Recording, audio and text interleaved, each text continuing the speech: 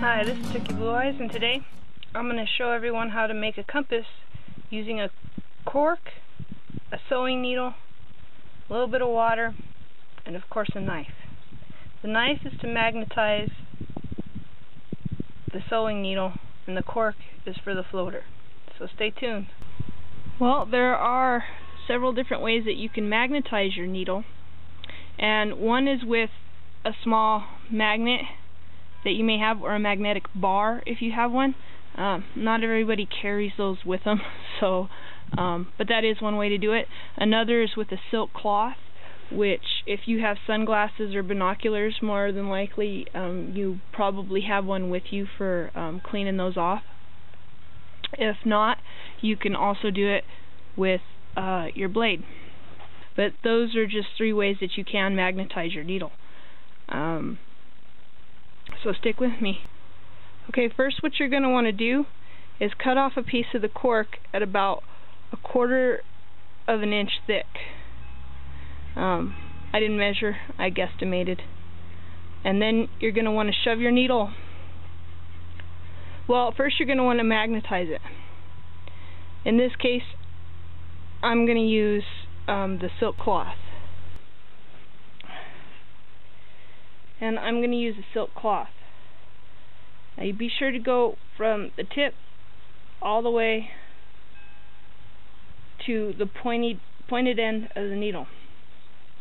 Like I said, you can also use a needle, and if you don't have a cork, you can use anything that floats. Like um, in your fishing kit, you may have a, um, a floater, a bobber, a foam bobber, and then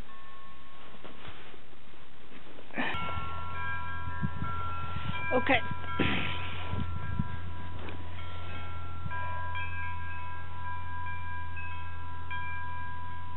I want to stick it through one side and out the other. And this can be difficult. It's kind of hard on the fingers.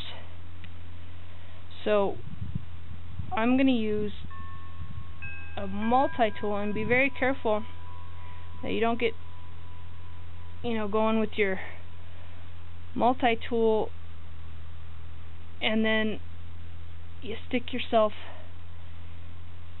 in the finger with it. See, in that case I went right through the bottom and I don't want to do that. I'm going to try to get it in as straight as possible.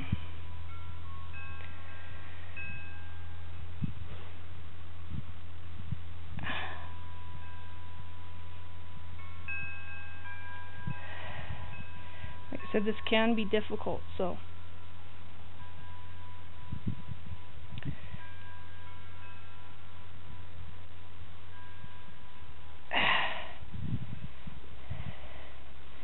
Make sure it's kind of even on both sides and as you can see there we're all done.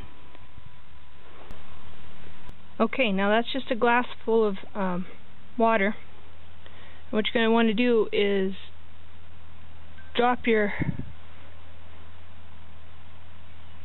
needle in there and as you can see, I don't know if you could see that real well, I brought out my compass to show you how accurate that can be. And so actually that's what you can use for a compass if you don't have one out in the wild. Well, thanks for tuning in, people. And that has been my rendition of how to make a compass out of cork, a sewing needle, and a little bit of water. Hope you enjoyed yourself. Once again, thanks for tuning in.